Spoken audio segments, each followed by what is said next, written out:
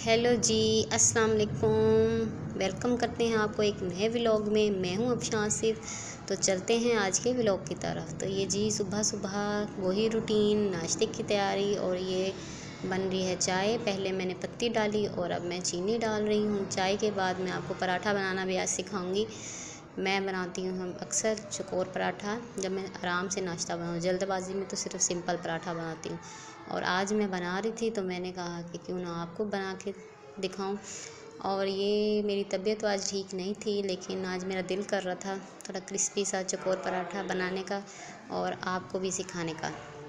तो ये यहाँ पे पहले मैं रोटी को बेलूँगी और उसको पूरा रोटी को, रोटी जितना ही बेलने के बाद फिर उस पर मैं लगाऊँगी घी।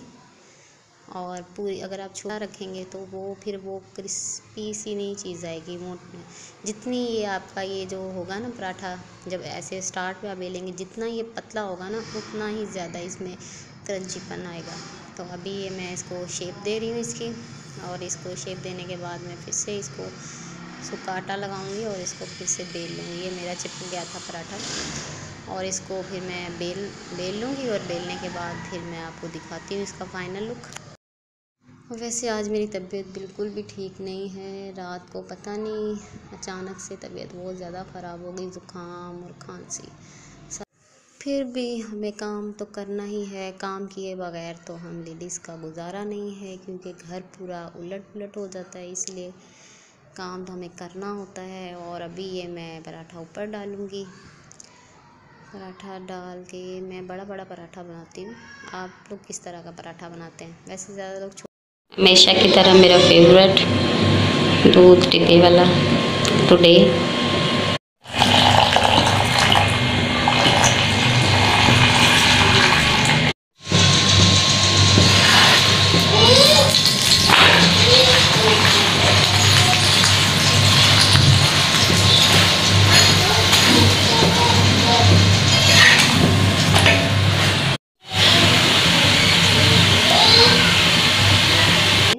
मतलब पता क्या है कि मिल जाता है, बस ला के भी देते हैं। और मुझे खुले दूध की तो चाय मुझसे बिल्कुल भी नहीं पी जाती, बिल्कुल भी नहीं पी जाती। ऐसे मुझे एवरीडे की चाय ज़्यादा पसंद है, डिब्बा हो या भले खुला वो पाउडर वाला फॉर्म हो। बस मुझे ये खुला दूध की जो चाय होती है ना, जो दूसरा पानी वाला दूध होता है, वो मुझसे नहीं पिया जाता। वो मुझे पता नहीं, ऐसे हैवी हैवी सा लगता है तो मेरी ना, मुझे अच्छी नहीं लगती उसकी चाय। तो बस ये जो मुझे वही मेरा फेवरेट है। वेरी गुड आइस बंद? ये पीछे से नीचे करो। ऐसे कैसे सो रहे हो तुम? क्या? सो जाओ। सो जाओ। है तो दादा की कॉल आई? हेलो दादा? दादा हेलो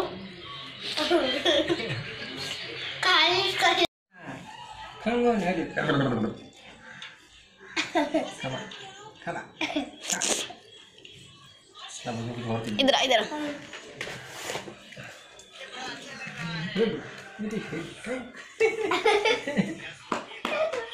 टाइगर है टाइगर छोटा सा टाइगर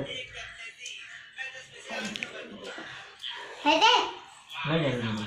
सो जाओ इधर सो जाओ सो जाओ ये लो हाँ हाँ जी, ये जो हैदर है ना, ये हमारा बड़ा प्यारा सा बच्चा है। और अब इस खाना वाना के बाद हम लोग ये आ गए हैं। अभी जाएँगे मार्ट पर और ये हम लोग अभी जा रहे हैं। मार्ट पे थोड़ा चीज़ें वगैरह लेंगे, कुछ सामान चाहिए। और ये मेरा बड़ा हैप्पी मूड है क्योंकि मैं जा रही हूँ मार्ट पर, आपको पता है। हम लोगों को शॉपिंग करना और कुछ लेने दे, कुछ ऐसा मसला हो तो हम लेडीज़ तो बड़ी खुश हो जाती हैं। तो बस मेरे साथ भी वही सीन है। और अभी यहाँ पे मैं लूँगी अपने लिए कुछ खाने पीने के लिए। और यहाँ पे ये मुझे देख रही हूँ मैं अपने लिए क्या लूँ। और सारा मार्ट घूमने के बाद मैंने सिर्फ़ अपने लिए एक लेज़ ली और बस आयान के लिए लिया सामान। बाकी वो जो कोको क्रंच हैं वो भी शौक से खाता है। और ये मैंने अपने लिए कॉफ़ी ली थी। ये जो नीचे जो पड़ी है कॉफ़ी ली थी। और मैंने अपने लिए रिक्शे में बैठे थे और अब हम आ गए हैं क्लिनिक। और यहाँ पे अब मैं अब अंदर जाऊँगी। बच्चे खड़े हैं, आगे रास्ता ही नहीं दे रहे। और ये मैं आपको अपना क्लिनिक दिखा रही हूँ। हाँ जी, ये देखें मैं आकर बैठ गई हूँ रूम में और मैं अपने लिए लेकर आई हूँ। और अभी मैं इसको खाऊँगी। बाकी मैं यहाँ पर रूम में आकर बैठ गई हूँ, ये छोटा सा रूम यहाँ पर बनाया हुआ अम्मी ने अपने लिए ये, उनके क्लिनिक में उनका रूम है। तो मैं यहाँ पर आकर बैठ गई, ये उनके कपड़े वगैरह टंगे हुए हैं यहाँ पर, वो चेंज वगैरह कर लेती हैं। हाँ जी तो अब हमें लग गई थी भूख तो फिर हमने मंगवाई यहाँ पर बिरयानी। और ये मैं बिरयानी खाऊँगी और अयान और उसके बाबा जो हैं वो खाएँगे रोटी सालन। उनको ज़्यादा बिरयानी और चावल वगैरह इस तरह की चीज़ें पसंद नहीं है। वो दोनों बाप बेटा रोटी सालन ही खाते हैं। उनको कुछ भी दे दो, उसके बाद उनको रोटी सालन खाना है। तो वो अपने लिए माश की दाल और रोटियाँ वगैरह लेकर आए। तो ये आयान को मेरी बिरयानी अब खानी है। जब इसको मंगवा कर दो ना, तब इसको नहीं खानी है। लेकिन जब नहीं मंगवा के दो, तब इसको खानी है। अब इसको चिकन की बोटी खानी है। तो फिर बस खाना वाना खाया खाने के बाद बस और स्टाफ के भी जाने का टाइम हो गया था फिर वो लड़कियाँ भी चली गई और उसके बाद बस मैं फिर घूम रही थी। ये अम्मी का रूम है। रिसेप्शन और ये जेंट्स वार्ड है। इसमें जेंट्स वगैरह को देखा जाता है।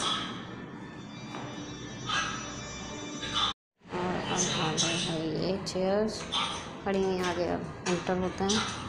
ये है वो रूम जहाँ पे वो आराम वगैरह करती हैं. सोती हैं, ये बेड वगैरह लगा हुआ है यहाँ पर. और बाकी ये रिसेप्शन है, ये डॉक्टर रूम है. ये बहुत बड़ा ये देखिए लिखा हुआ है फीमेल वार्ड और यहाँ पे लेडीज़ का चेकअप वगैरह किया जाता है। और अल्ट्रासाउंड मशीन रखी। और ये है डिपार्ट्री स्टॉल हाँ जी तो मैं यहाँ पर वार्ड में ही बैठ गई हूँ। और मैं इसलिए आज यहाँ पर आई हुई हूँ। अम्मी को कहीं जाना था काम से तो क्लिनिक पे कोई था नहीं। बाकी स्टाफ वगैरह तो है, लेकिन फैमिली मेंबर का भी किसी का होना ज़रूरी है। तो इसलिए उन्होंने मुझे और मेरे हस्बैंड को बोला कि जब तक मैं आ नहीं जाती, तुम लोग जो है यहाँ पे आ जाओ क्लिनिक। तो इस वजह से हम लोग यहाँ क्लिनिक पर आ गए थे आज। मैं आपको अपनी सास से भी मिलवाऊँगी। माशाल्लाह से वो बहुत सपोर्टिव हैं और बहुत अच्छी हैं और वो बहुत सपोर्ट करती हैं हमेशा हमें हर चीज़ में। तो वो ये डॉक्टर हैं गायनी की। तो मैं आपको उनसे ज़रूर मिलवाऊँगी। अभी तो वो हैं नहीं तो मैं आपसे उनकी मुलाकात ज़रूर करवाती लेकिन अभी वो हैं नहीं इन फिर कभी आप उन, उनसे ज़रूर मिलवाऊँगी मैं। तो अभी इसी के साथ अपना वीडियो एंड करती हूँ मैं। तो आप लोग अपना ख्याल रखिएगा और मुझे बताइएगा आपको वीडियो कैसा लगा। और प्लीज़ मेरे चैनल को ज़्यादा से ज़्यादा शेयर किए करिए और जो भी देख रहे हैं अभी तो बहुत कम लोग देख रहे हैं लेकिन जो लोग भी देख रहे हैं प्लीज़ आगे शेयर किया कीजिए ताकि मेरा चैनल भी थोड़ा ग्रो करे। अभी तो बहुत कम व्यूज़ आ रहे हैं। मैंने तो डरते डरते बनाया था वीडियो लेकिन यह है कि मैं अपना काम कर तो रही हूँ मुझे कुछ पर मैं कोई चीज़ सही नहीं कर रही। तो देखें अभी भी मैं वही काम कर रही हूँ। तो आप लोग मुझे बताया करें कि ये, आप ये ऐसे नहीं, ऐसे करें, ऐसे नहीं, ऐसे करें। तो प्लीज़ आप लोग मुझे बताया करें तो मैं उसको ज़रूर सुनूँगी और आप लोगों कमेंट का जवाब भी दूँगी। और प्लीज़ मुझे गाइड किया करें। ओके अपना ध्यान रखिएगा। अल्लाह हाफिज़।